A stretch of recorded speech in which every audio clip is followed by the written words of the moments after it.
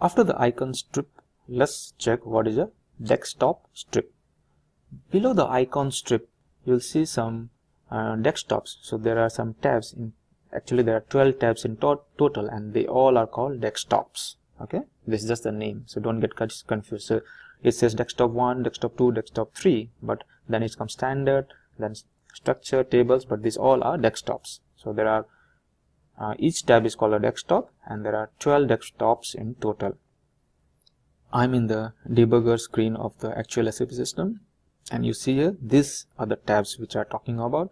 They say desktop 1 desktop 2 desktop 3 after that standards structures ta tables. These all are tabs and all are called desktops and there are 12 desktops in total and we'll see in subsequent videos what is desktops each functionality of each desktop is at each um, debugger screen you will see these icons. So you need to understand this is a close icon this is a new tool this is a replace tool this is for full screen this will maximize your screen horizontally this will swap the tools okay? And this will uh, help you to open the services of the tools.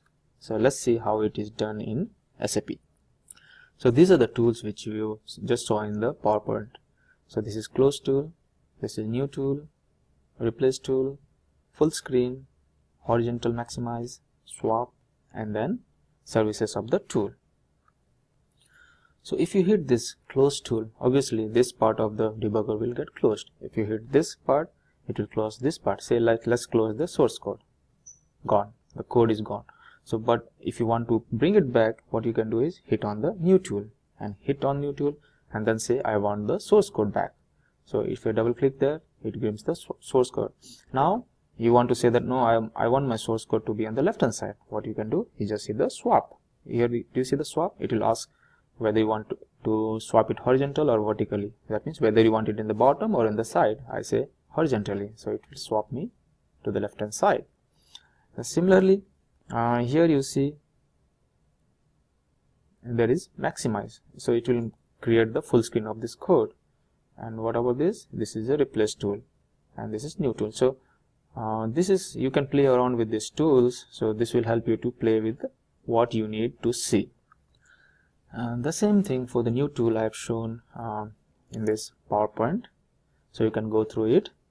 Uh, next is uh, the debugger desktop can slow, show up to four tools. Okay? That means it in the left hand side there is a code. In the second it's showing the table in the third it's showing the ABAP stack and the four it is showing the variables. So there are say 12 desktop elements uh, tabs but only four can be seen at one time. So and we can you, you can choose what you want to see in this those four screens. So if if i come back to sap i see that there are only three in my case. So how we can do? I can add one more here. If you click a new tool and i say that since source code is already there and this is ABAP screen stack and this is variable so let me see uh, another uh, tool which I can say I want to see the breakpoints. Alright see here? So I can just drag a little up. So you can see that in my whole program there are two debuggers set the two breakpoints set. One is a session breakpoint okay? And another one is the external breakpoint. So you know that because if I go scroll up it will see here or I'll just say full screen okay? I'll just say full screen here. And I want to show the breakpoint so this is at line 93 there is one breakpoint and in line 104 there were another breakpoint so that's how use use the four tools. So let me add another tool here. Since now it has full screen I've lost it. So I'll say variable past it is in here. Now I'll add another tool say I'll say breakpoints it comes here. And I can add one more here. Say I'll say call stack okay so this see you can have four different views in the same debugger screen